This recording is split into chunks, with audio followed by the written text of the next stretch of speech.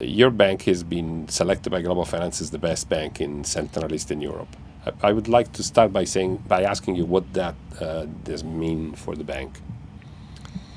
Uh, for us, it's it's a big honor uh, and uh, recognition of our uh, very successful uh, business model, which exists of diversification um, in terms of countries and products.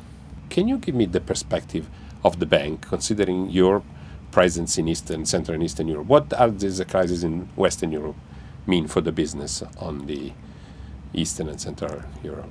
Of course, uh, the crisis in Western Europe has an impact. Um, fortunately, uh, the the countries in Central and Eastern Europe uh, they managed to prepare very well for this crisis. So they have, uh, in, in, in comparison to uh, to the eurozone countries, they are in a much better shape.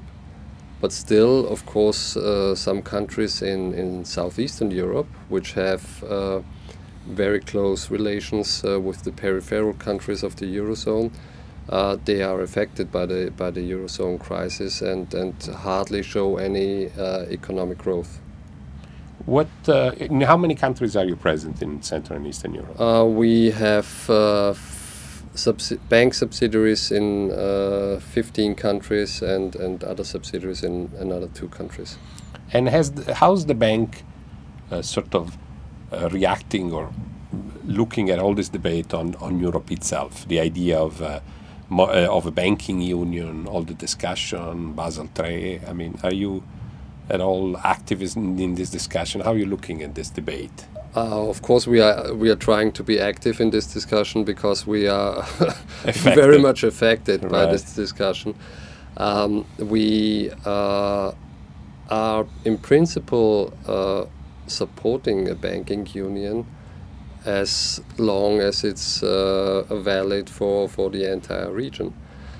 Uh, so it's uh, for us it's uh, it's of course uh, a very different playing field and environment as for other banks which are not part of the banking union, and we we try to avoid that, but let's see.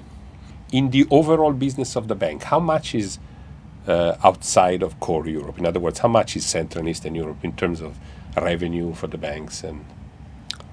Uh, in terms of revenues, uh, Central and Eastern Europe uh, contributes around uh, between two thirds and and seventy five percent. So it's it's it's the lion's share of our business, uh, apart from our home market Austria. Um, it's of course it's it's our home region. Yeah. And there is growth. I mean, in terms of new markets or new. Uh, we recently acquired uh, a bank in uh, Poland, a retail bank, which we will uh, now merge with our existing uh, more corporate-focused bank in Poland. Um, so we we are expecting of course, growth and, and uh, revenue contribution from this uh, acquisition in the medium term. Um, and there is uh, there is a slight, I would say there is there's a stable business development uh, up to slight growth. But of course, the uh, the uh, regulations, the requirement to comply with the uh, capital ratio set by the European Banking Authority, uh, they had a certain impact also on our business development.